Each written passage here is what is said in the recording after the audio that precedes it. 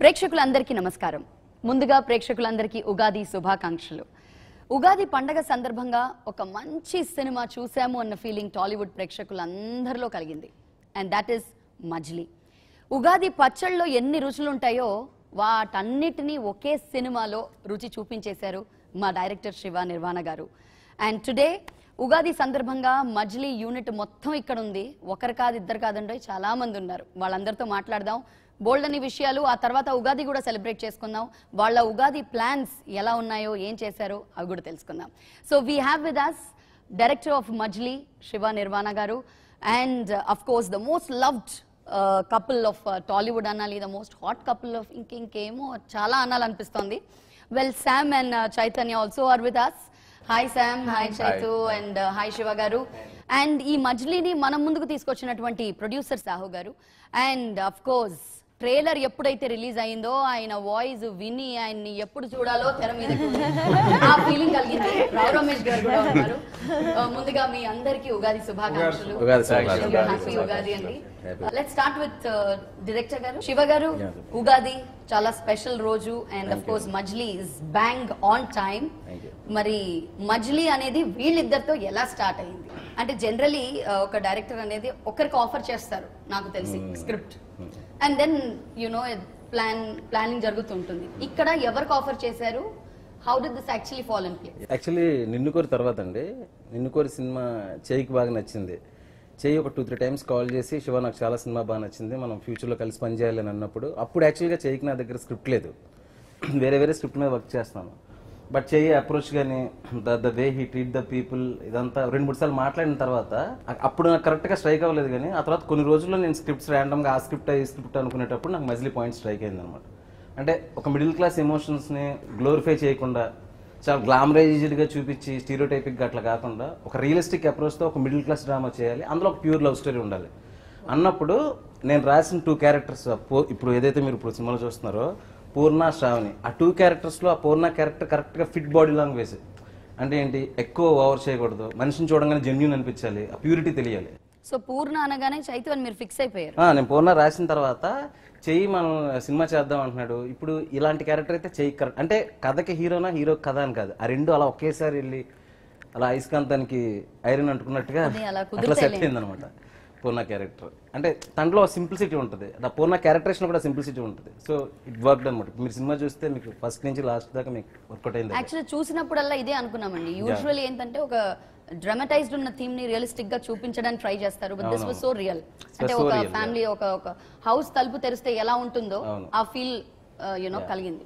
So first పూర్ణకి ఇచ్చారు అయితే మీరు. అండ్ శ్రావణి ఎప్పుడు వచ్చింది పిక్చర్లోకి? ఫస్ట్ నేను మామూలుగా సో పూర్ణ క్యారెక్టర్ బేస్ చేసుకుని రాశాను twenty five minutes Shravani character ఎలాగా పూర్ణ క్యారెక్టర్ ఒక హస్బెండ్ ఒక లూజర్ అట్లా ఉంది కాబట్టి. చూ డ్రంకార్డ్ ఇలా ఉంది కాబట్టి. ఒక రెస్పాన్సిబుల్ ఇన్నోసెంట్ ఒక ప్యూర్ హార్టెడ్ గర్ల్ క్యారెక్టర్కి క్యారెక్టరేషన్ స్టార్ట్ చేసినప్పుడు Sam garu is not in my mind Shravani character ఉంది. రాసేటప్పుడు దాని పొటెన్షియల్ అలా పెరిగిపోతా పెరిగిపోతా వస్తుంది అనమాట సో ఒక ట్వంటీ మినిట్స్ రాసిన తర్వాత నేను వచ్చి మళ్ళీ కలిసి చేక్ ఫుల్ వెర్షన్ చెప్పినప్పుడు ఈ క్యారెక్టర్కి వెయిట్ శామ్ గారి కరెక్ట్గా తీసుకురాగలరు అని. దర్ ఈజ్ నో పాయింట్ అనమాట అంటే చేయితోని శామ్తోని కలిపి సినిమా చేయాలని నేను ఎప్పుడు అనుకోలేదు.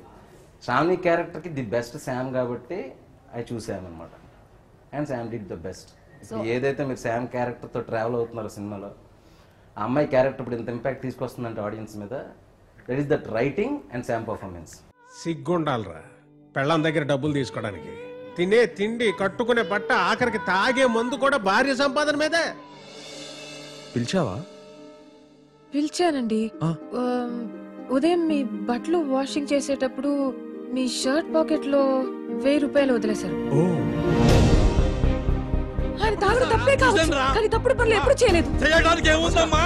పంతొమ్మిదేళ్ళ వయసుకే అన్ని అవగొట్టాడు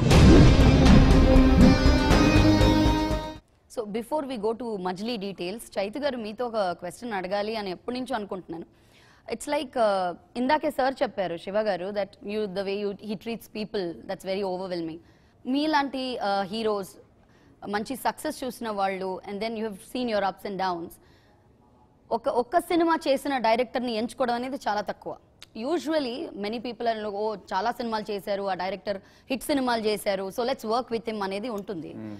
But now the trend is changing and thanks to people like you that మీరు Shiva garu after his first film this is second film.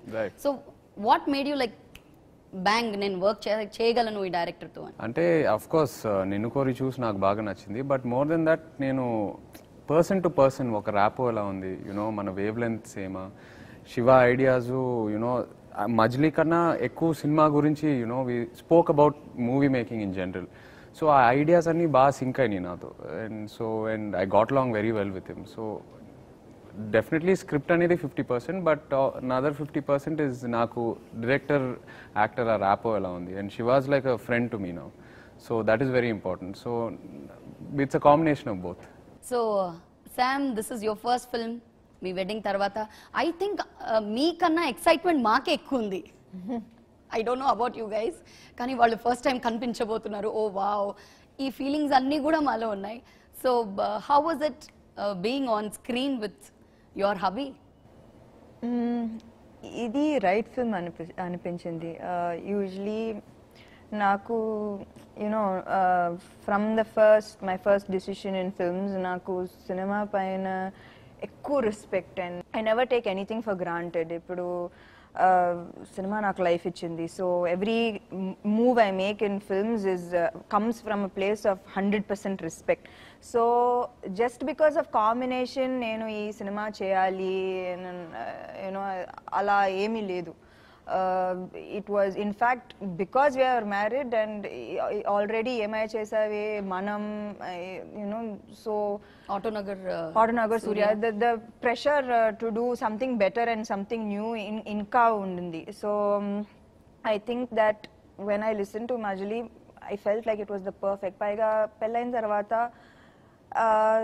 నాకు నా పర్సనల్ లైఫ్లో ఏదో ఒక కామ్ అండ్ సెక్యూరిటీ వచ్చింది you know so I was like ఎవరు పెళ్ళి తర్వాత లవ్ గురించి ఎవరు మాట్లాడలేదు ఎవరు సినిమాలో చూపించలేదు ఎందుకు అనిపించింది? And I that was like the perfect time that Shiva garu narrated Majili and I felt like wow you know this is very very important story to tell love stories అన్నీ ఒకటే ఉం- ఉంటుంది you know girl beats boy boy meets girl fall in love వాళ్ళు ఉంటారా విడిపోతారా that is a love story but how much you invest in the characters of the of the film like Purna Shravani Anshu makes it a blockbuster film so every every small moment in the film is relatable and connect అవ్వచ్చు there was not even one day where I went to work and I felt ఈ రోజు ఓకేలే అలా ఒక్క రోజు కూడా లేదు. Every single day I went to work as like wow నాకు తెలుసు ఏదో మంచిగా జరిగింది ఈ రోజు.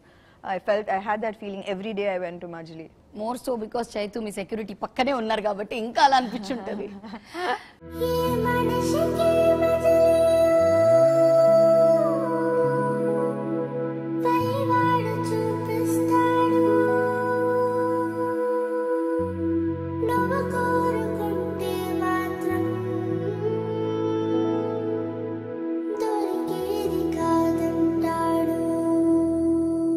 రావు రమేష్ గారు మీరు ఎప్పుడు కామెడీ చేస్తారు ఎప్పుడు తిడతారు ఎప్పుడు మీ మూడ్ మారిపోతుందో మీ మూడ్ స్వింగ్స్ సినిమాల్లో మాకు అర్థం కావట్లేదు. But all I can says will love your character that's a great compliment అలా స్వింగ్స్ ఉంటేనే బాగుంటుంది ఫిక్స్ ఎగ్జాక్ట్లీ ఎగ్జాక్ట్లీ అంటే కామెడీ చేస్తూ కూడా విలన్ క్యారెక్టర్ చేయొచ్చు అని ఐ థింక్ చాలా తక్కువ సినిమాల్లో చూసామని definitely you are one among them sir మరి ఇందులో బాగా తిడుతూ ఉన్నారు. పాపం చైతుని ట్రైలర్ అయింది స్టార్ట్ అయిన దగ్గర నుంచి చూస్తున్నాను. ఏ తిట్టినా చలనం ఉండదు ఈ సినిమాలో.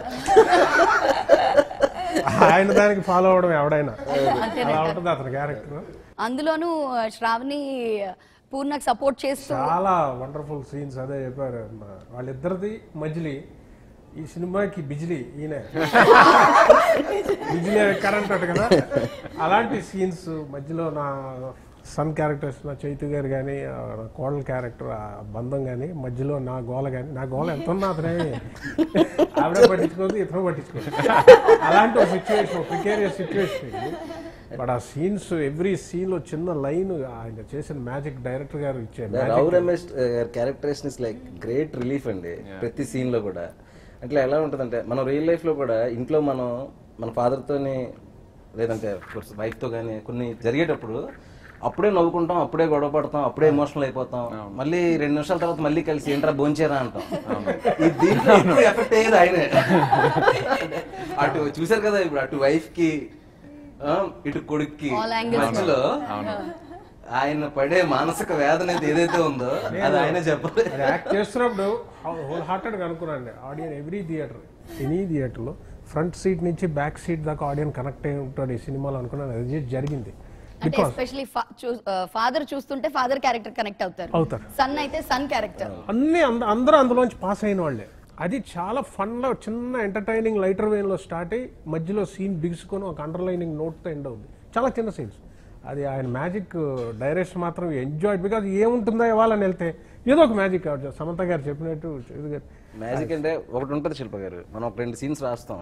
రా- రాసి ఆ రోజు షూట్ చేసేటప్పుడు ఆర్టిస్టులు మనకు చెప్తూ ఉంటారు ఇంకా మేము ఇంకా చాలా చేయగలం మేము అని. అప్పుడు ఇంకా మనకు రైటింగ్కి స్పేస్ ఉంటుంది అనమాట ఇప్పుడు ఆర్టిస్టులు అక్కడ ఆగిపోయారు అనుకోండి సీన్ కూడా అయిపోద్ది ట్రీట్మెంట్ కూడా అయిపోద్ది ఇప్పుడు రావు రమేష్ గారికి ఒక చిన్న చెప్పగానే మీరు చూస్తే డైనింగ్ టేబుల్ సీన్ సెకండ్ హాఫ్లో చూసినట్లయితే ఆ సీన్లో వచ్చినప్పుడు రావు రమేష్ గారు ఇచ్చిన రియాక్షన్స్కి అరే భలే ఉందిరా అని చెప్పేసి ఆ నెక్స్ట్ సీన్స్లో కూడా ఇంకొంచెం హ్యూమర్ రాసాం. అలాగే శామ్ గారు వచ్చినప్పుడు కొన్ని ఎమోషనల్ సీన్స్లో ఇచ్చిన ఎక్స్ప్రెషన్స్కి ఓ ఈ ఎక్స్ప్రెషన్ ఇక్కడ ఎలా ఉందంటే ప్రీ క్లైమాక్స్లో ex- ఇంకొంచెం ఎమోషనల్ ఏ లెవెల్కి తీసుకెళ్ళొచ్చు. నేను ఏం నమ్ముతానంటే ఒకసారి సెట్కి వెళ్ళినాక నువ్వు జెన్యున్గా పని చేస్తే నువ్వు నెక్స్ట్ రోజు ఏం చేయాలనేది ఆ రోజు చెప్తుంది. అది మాత్రం honest గా చేయాలి. చాలా మంచి విషయం చెప్పారు. ఇంకోటి కూడా ఆయన ఆయన చూస్తే మాత్రం ఒకటి హండ్రెడ్ పర్సెంట్ రైట్ అండి. ఇది ఎగ్జాగరేటెడ్ కదా. ఆయన చెప్పింది కే బాలచంద్ర గారిది అప్డేట్ అయితే ఎలా ఉంటుంది? Middle class hundred percent yes ఆయన చాలా అంటే అప్డేట్ అయితే. Update coming from Rao Ramesh garu ఈ మాట అంటే ఆయన థర్డ్ డే ఫోర్త్ డే వచ్చినప్పుడు నాకు షూటింగ్ చేసిన షూటింగ్లో లేదు సార్. నిజంగా నా ఇంట్లో నేను పర్సనల్గా ఫీల్ అవుతున్న దీనిలో ఉంది. అంటే ఇది తెలిసిపోతుంటదండి. ఆయన ఎమోషనల్ అయిపోయి సీన్ నుంచి బయటకు వచ్చిన తర్వాత కూడా కట్ చెప్పిన తర్వాత కూడా ఒక ఐదు నిమిషాలు మనం ఆర్టిస్ట్ని అబ్జర్వ్ చేస్తే అర్థమైపోద్ది మనకు. వాళ్ళు ఎంత ఇన్వాల్వ్ అయ్యారు ఏంటనేది.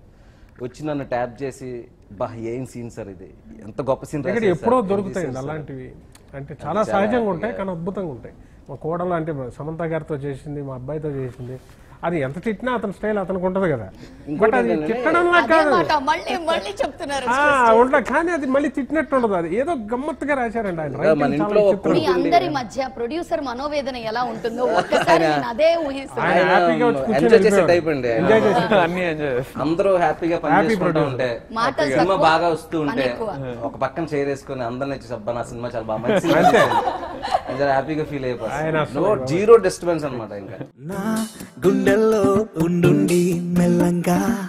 చల్లు మందే ఏమయ్యిందో.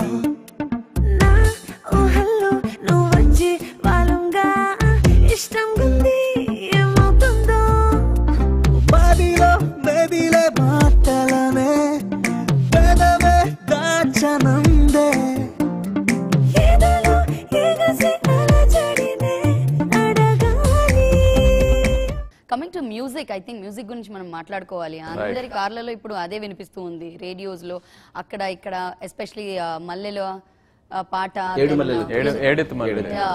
అది and Priyathama Priyathama. I think that is one of our everyone's favourite Priyathama Priyathama. And నా ఇప్పుడు సినిమా చూసాక క్లైమాక్స్ సాంగ్ ఇంకా ఎక్కువ రీచ్ పెరిగిందండి. గోపి సుందరం గారు. యా గోపి సుందర్ మ్యూజిక్ చేశాడు and background score Thaman. Thaman garu. Yeah Thaman score అండి. ఈరోజు ఫిల్మ్ని నేను రీ రికార్డింగ్కి ఇచ్చిన స్పేసెస్ కానీ ఓవరాల్ సినిమాలో ఎమోషనల్ కొఫిషియంట్ని ఒక నెక్స్ట్ లెవెల్కి తీసుకెళ్ళిందండి తమన్ గారి రీ రికార్డింగ్ ఇప్పుడు ఏదైతే మీరు థియేటర్లో ఆ ఎమోషనల్ ఎందా చెప్పాను ఇంటర్వ్యూ ముందు టెన్ మినిట్స్ ఆ ఎమోషనల్ సీన్ ఐడ్లిన్ రష్ దానికి తమన్ మ్యూజిక్ యాడ్ అయిన తర్వాత ఐ ఫెల్ట్ లైక్ ఏం చేశారా బాబు మ్యూజిక్ అని. My heartful thanks to Thaman. Thaman gave life to the film as background music super Vizag back చాలా ప్లెజెంట్ అనిపించింది. ఎప్పుడు వైజాగ్ని చూసినా ఒక ప్లెజెంట్నెస్ ఉంటుంది. What was the idea behind doing it only in Vizag శివాకి I think Vizag అంటే ప్రాణం. ప్రాణం. నేను ఎలా తెలిసిందంటే ఒక రాక్ గురించి పది నిమిషాలు మాట్లాడారు. ఒక రాక్ రాక్ గురించి. వైజాగ్లో ఒక రాక్ గురించి టెన్ మినిట్స్ డిస్కషన్ అంటే ఆయనకి ఏదో పాత ఫిలింగ్ ఉండే ఉంటుందండి. అది నేను అనుకున్నాను, లేదు కానీ ఫ్రెండ్స్తో అక్కడికి వెళ్ళారంట. నేను అడిగాను ఫస్ట్ క్వశ్చన్ ఏ శివ గారు? కానీ ఆయన లేదు లేదు శామ్ గారు అలా లేదు. అది చాలా ఒక రాక్ గురించి మీరు టెన్ మినిట్స్ మాట్లాడారంటే ఒక సినిమా గురించి మీరు ఎంతసేపు మాట్లాడగలరని ఆలోచన. వైజాగ్తో కనెక్షన్ సినిమాకి ఏం కనెక్షన్ అంటే అండి నాకు వైజాగ్లో ఒక బ్రైటర్ సైడ్ని ఎక్స్పోజ్ చేశారు చాలా లవ్ స్టోరీస్కి ఇప్పుడు మనకి చెన్నై తీసుకోండి చెన్నైలో ఒక బ్రైటర్ సైడ్ ఉంటుంది ఒక డార్కర్ సైడ్ ఉంటుంది. అట్లాగే ఒక వైజాగ్లో ఒక డీగ్లామరైజ్డ్ రా అంబియన్స్ ఉంది. ఆ ప్లేస్లోనే మేము షూట్ చేసాం that is Gnanapuram. So character ఇప్పుడు చెయ్యి క్యారెక్టర్ పూర్ణ క్యారెక్టర్ అనేది గతంలోంచి బయటికి రా రావడానికి ఇష్టపడిన క్యారెక్టర్ సో మనం చూపించే అంబియన్స్ అంతా ఒక గతంలాగా ఉండాలి. Like iPhones bikes sports bikes అట్లాంటి ఏం కనపడకూడదు. సో వీ షూట్ దట్ ఒక జాలార్పేట అని ఒక ఏరియా ఉంది. జ్ఞానాపురం అని ఒక ఏరియా ఓల్డ్ పోస్ట్ ఆఫీస్ మీరు ఫ్లాష్ బ్యాక్ చూస్తే అదంతా అక్కడే షూట్ చేసాం. సో ఆడియన్స్కి ఏంటంటే ఒక నాస్టాలజియా మూమెంట్ ఉంటుంది అనమాట దానివల్ల ఈ స్టోరీ పిక్ చేసుకోవడానికి అది కారణం ఫస్ట్ సెకండ్ థింగ్ ఏంటంటే నాకు బేసిక్గా వైజాగ్తో ఎక్కువ కనెక్షన్ ఉంది కాబట్టి శామ్ గారు అంటున్నట్టు అక్కడ బీచెస్ అక్కడ ప్లేసెస్ అన్నిటితో. అంత ఆర్గానిక్గా ఇక్కడ చేస్తే హైదరాబాద్లో చేస్తే అంత ఆర్గానిక్గా క్రియేట్ చేయలేము అనమాట లైక్ అందుకని మజిలీకి వైజాగ్ నే బ్యాక్ డ్రాప్ చేసుకోవడం జరిగింది. సో రావు రమేష్ గారు మీ డైలాగ్ లేక వినకపోతే అసలు ఇంటర్వ్యూ ఎలాగో ఉంటుంది. ఏదో ఒక డైలాగ్ ఈ సినిమా నుంచి మీరు చెప్పాల్సింది. ఈ సినిమా అంతా సమంత గారు చెప్పినట్టు చాలా బాగుంటుంది. ఈ డైలాగ్ అంటే ఏం సార్? అను క్రికెట్కి అడుగుతాడు వన్ ఇయర్ టైం ట్రాన్స్ఫార్మర్లో ఫ్యూజ్ చేసినందుకు లైట్లు వచ్చేస్తాయి. కొడుకు మీద నమ్మకం వస్తుంది. తిట్టినగానే అమ్మాయి అమ్మ ప్రయోజకుడిగానే ఉన్నాడని సరే ఏంటో ఇప్పుడు సంవత్సరం టైం కావాలంటారు. అంటే క్రికెట్కి టైం కావాలంటారు. అతను ఐటీఐ చేస్తున్నాడు కదా ఎగ్జామ్ పాస్ అవ్వాలి. అది మ్యాటర్. సంవత్సరం టైం. సరే ఈ లోపల నువ్వు సచిన్ అవుతావో సోంబేర్ అవుతావో నాకు అనవసరం. కానీ వన్ ఇయర్లో ఈ సబ్జెక్టులు ఐటీఐ కంప్లీట్ చేయలేదనుకో గ్యాంగ్మెన్ జాబ్కి అప్లై చేయింతాను పట్టాల మీద ఒంగోబెట్టి పని చేయింతాను అది వైజాగ్ స్లాంగ్ కరెక్ట్ తీసుకున్నారండి ఆయన స్లాంగ్ని. గేమ్ అంటే ఎలా ఉండాలి అసలు? ప్రశాంతంగా తపస్సు చేసినట్టు ఉండాలి. ప్రశాంతత గురించి తమరు మాట్లాడుతున్నారా సార్? పిల్లం సంపాదన మీద బతకాల్సిన అవసరం నాకు లేదు. మా కుటుంబానికి పట్టిన శనిగాడివిరా నువ్వు? ఏ మాటలు తిన్నంగా రాని ఇప్పుడే చెప్తున్నా. మనం లవ్ లెటర్ మీద రాసుకున్న అమ్మాయి పేరు వెడ్డింగ్ కార్డ్ మీద ఉండదురా. కొంచెం అన్న మనస్సాక్షి ఉంటారా నీకు? ఫైనలీ ఉగాది పండగ కాబట్టి ఉగాది గురించి కొంచెం మాట్లాడుకుందాం. మీ ఫ్యాన్ బేస్ చాలా ఉన్నారు. వాళ్ళకి మీరు ఉగాది శుభాకాంక్షలు చెప్తే కూడా బాగుంటుంది. First of all before we do that Sam మీ మొదటి పండగ ఐ మీన్ ఉగాదిని ఎలా సెలబ్రేట్ చేసుకుంటారు మీరు ఎప్పుడు? ఈ సంవత్సరం అయితే పెద్ద పండగ మాకు because of also Majili you know new beginning new journey with and the new year is given us so much with Majili ఒక పెద్ద గిఫ్ట్ ఇచ్చింది. అండ్ యాక్చువల్లీ శివ గారికి యూనో నిజంగా సినిమా చూసిన తర్వాత I just had like only thank you to say to Shiva garu. ఒక special special cinema. ఏమై నిజంగా చెప్పాలంటే ఏమాయ చేసావే? మనం నా లైఫ్ని ఎలా చేంజ్ చేసిందో Majili because of everything that it is given us Hess equal importance నా లైఫ్లో అండ్ అండ్ టు చే you know it will stand as equal important as Ye Maaya చేసావి and మనం and I have only Shiva గారు thank for that for his his soul is beautiful like అందుకే ఇలాంటి ఒక cinema వచ్చింది. And he's beautiful person and I'm very very very proud to have work with him so ఆయనకి thank you చెప్పాలి ఖచ్చితంగా for this film and yeah and to the audience if you can just అందరికీ ఉగాది శుభాకాంక్షలు.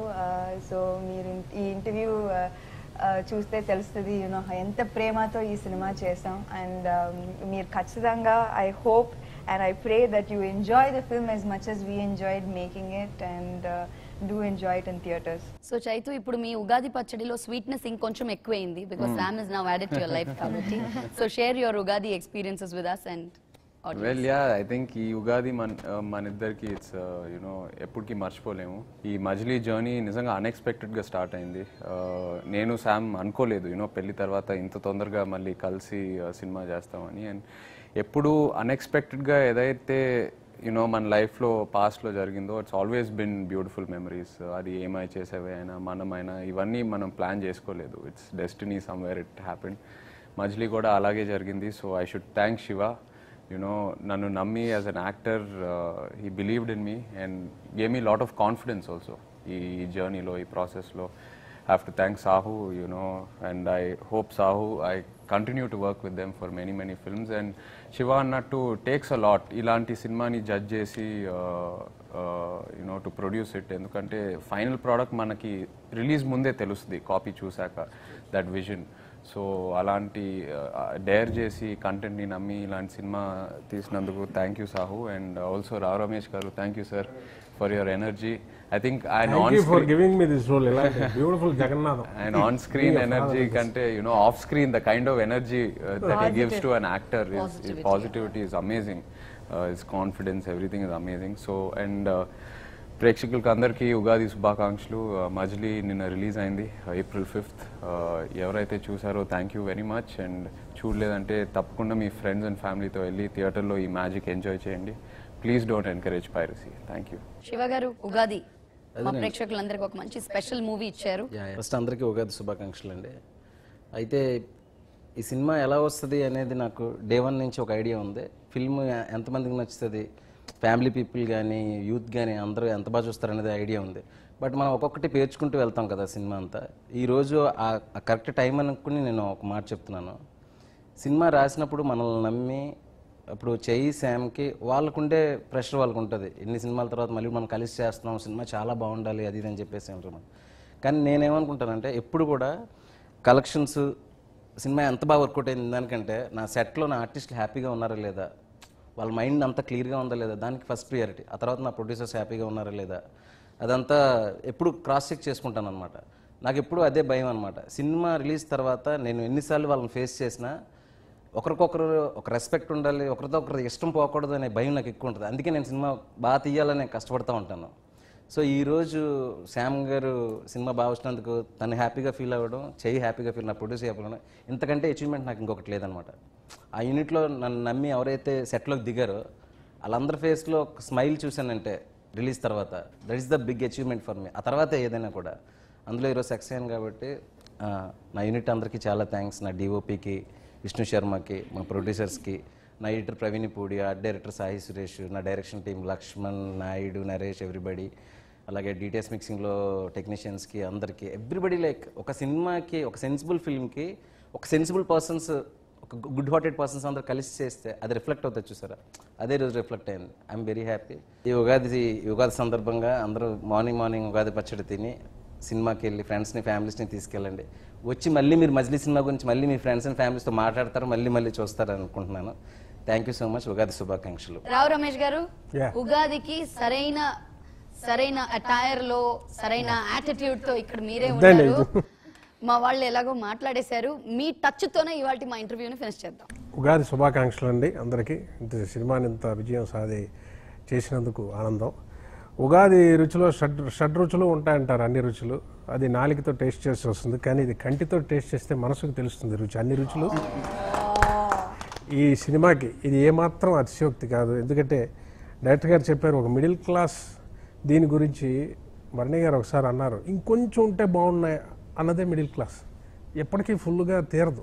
ఏది ఏది చూసినా ఏ slot చూసినా ఇంకొంచెం ఉంటే బాగుంటుంది. ఇంకొంచెం అది సినిమాలో ఉంటుంది. రమేష్ గారు ఒక బజార్ చేసేటప్పుడు బ్యాగ్ తీసుకెళ్తే ఒక మిడిల్ క్లాస్ వ్యక్తి ప్రపంచం ఉంటుందండి అటు మైండ్లో కొనడానికి బట్ కొనేది ఆ బ్యాగ్ ఉంటుంది. అది ఈ సినిమా అండి. ఆ ఎవ్రీ ఎక్స్ప్రెషన్ ఆయన క్యాప్చర్ చేసిన విధానం అద్భుతం. ఈ సినిమాలో ఉండడం నా నా మంచి సినిమాల్లో గొప్ప సినిమాల్లో నాకు మధ్యలో ఒకటి లైఫ్లో. నాకు నిలిచిపోయే పిక్చర్ అంత ఆనందం. ఇది చేస్తున్నప్పుడే హండ్రెడ్ పర్సెంట్ సక్సెస్ డోకా లేకుండా అనుకున్న ఆ- ఫీల్ కలిగిన పిక్చర్ సో ఈ ఉగాది రోజు ఈ సినిమాని ఇంత హిట్ చేసినందుకు ప్రేక్షకులందరికీ ధన్యవాదాలు. So thank you one and all for patiently talking to us and all the very best congratulations Thank you. Thank you. For the wonderful film మళ్ళీ ఇంకొక స్పెషల్ ఫిలిం మాకు ఇచ్చారు which not only once we can repeatedly watch it over so all the best happy new year happy Thank you. so much. Thank you. మీరు కళ్ళల్లో కోపాన్ని చూస్తున్నారు. నేను గుండెల్లో బాధను చూస్తున్నాను అది ఎంత సమ్మగా ఉంటుందో మీకు తెలుసా?